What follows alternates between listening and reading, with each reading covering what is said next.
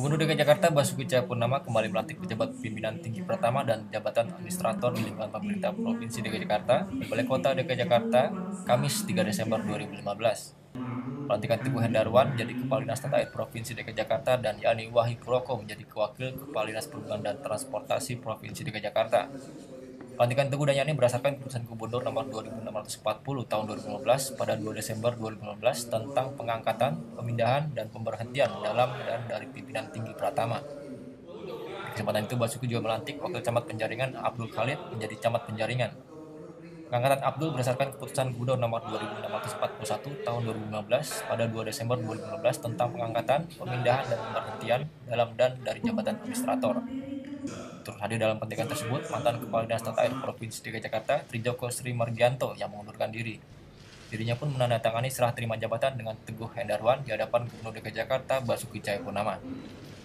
Gubernur DKI Jakarta Basuki Cahayapurnama mengatakan, untuk Kepala Dinas Tata Air yang baru dilantik ini memiliki pekerjaan rumah pertama yakni memeriksa seluruh anggaran untuk perawatan pompa termasuk swakelola alat berat. Hal tersebut lantaran alat berat yang ada tidak berjalan. Lebih lanjut, Basuki menambahkan, bagi jajaran suku dinas di wilayah yang tidak mendukung pengerjaan dinas tata air, maka akan diberhentikan dari jabatannya. Seluruh kota Jakarta dengan lampu LED. PR pertama dia periksa seluruh anggaran untuk perawatan pompa termasuk swaklola alat berat semua. Karena alat berat semua tidak jalan. Aneh gitu. Saya perintah cuma itu, saya mau perintah orang sarjana sosial ini. Bekas camat, perintahkan Anda panggil kontraktor, bilangin kayak orang bodoh aja, eh aku mau tutup ini tembok ini. Kayak saya di, tinggal di Pantai Mutiara, dulu temboknya kependekan, pasang lewat air. Gimana caranya? Patungan, beli tanah yang banyak, bikin taman, gundukan taman, bikin tembok. Bikin tembok lebih tinggi daripada pasang laut. Masih masuk air laut? Kagak. Sini pasang pompa. Dia pompa pasang mesin pump. Begitu capai level tertentu, hidup buang air ke laut. Udah. Apa yang susah gitu loh. Makanya kita lagi suruh. Sekarang pasti Sudin juga melarang kan.